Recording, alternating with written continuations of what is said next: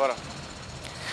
Blog do Jazão, no centro da cidade de João Câmara, mostrar que o prefeito de João Câmara, atendendo um pedido da população em geral e dos comerciantes, flexibilizou a entrada de pessoas de outros municípios no centro comercial de João Câmara.